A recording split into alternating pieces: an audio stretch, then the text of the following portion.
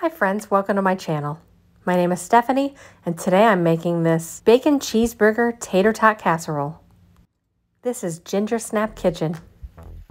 I've never made anything like this before. It was a bit of a freezer clean out recipe. Here's how I did it.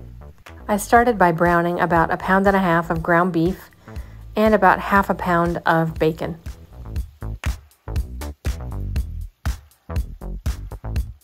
Once the ground beef was brown, I drained off all of the excess grease and I added about two tablespoons of minced dried onion.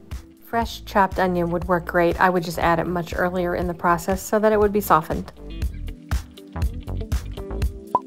I drained off the excess grease from the bacon as well, and I cooked it until it was crispy and brown.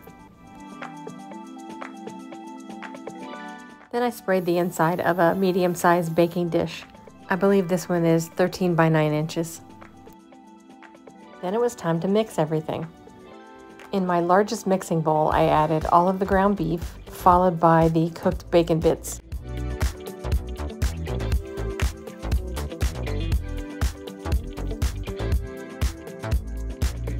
Then I tossed them together.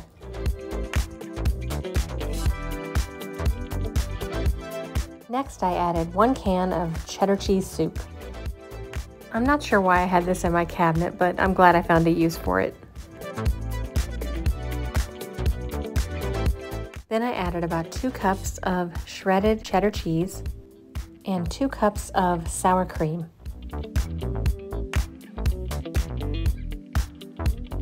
Then I stirred everything together.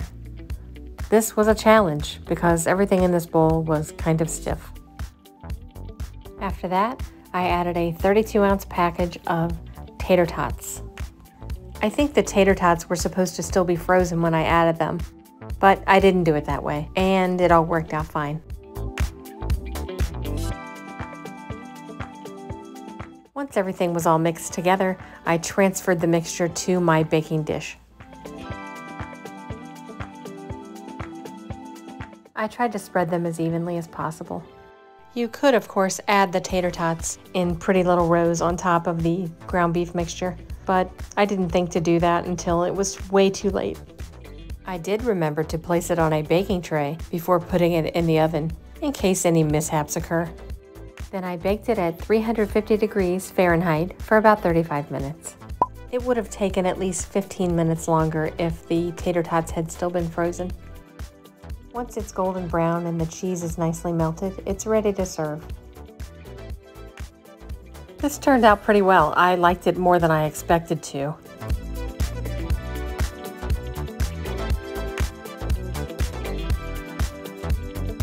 It's versatile. You could certainly switch up the type of canned soup that you use or use homemade soup, which I probably would do in the future if I make this again.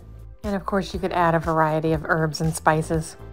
I definitely wouldn't recommend adding any salt because with the canned soup, cheddar cheese, and bacon, it's already pretty salty.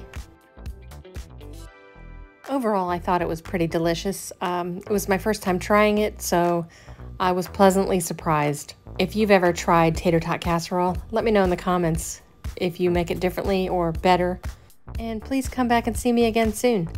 I upload new delicious recipes every week. Thanks so much for watching. See you next time.